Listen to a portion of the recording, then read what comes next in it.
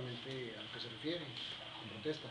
Tuvimos comentarios de unos muchachos eh, que en la mañana traían una inquietud. Eh, y esta inquietud creo que ha sido una inquietud de meses. Lamentablemente no, no hemos podido nosotros platicar con ellos, en el sentido de que no se han acercado. Nosotros estamos, eh, por supuesto que haciendo el trabajo que nos corresponde. Estamos todo el día en las aulas, en los pasillos, no somos funcionarios de oficina. Y, bueno, la inquietud esperemos que se concrete, que se pueda hacer de una manera correcta. Creo que la universidad tiene una madurez para resolver esto y más. Históricamente Ciencias Políticas ha resuelto todos los conflictos que se le han presentado. Y esto no va a ser la excepción. Ustedes son egresados y lo saben, el ambiente que, que, que aquí se mantiene es un ambiente de pluralidad.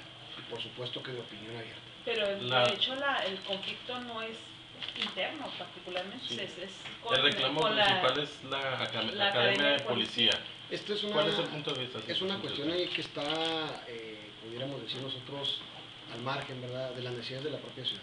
Nosotros de entrada eh, requerimos seguridad, seguridad en la universidad y seguridad en la ciudad, lo, lo exige la ciudadanía y la comunidad. Eh, por supuesto que el hecho de que esté la academia de policía frente a la universidad, pues nos pone en condiciones diferentes. Nosotros esperamos que el señor presidente municipal, eh, bueno, haga exactamente lo que ha estado haciendo y lo siga haciendo bien. Eh, en este sentido, pues que sea el orden, eh, que esté por encima de todo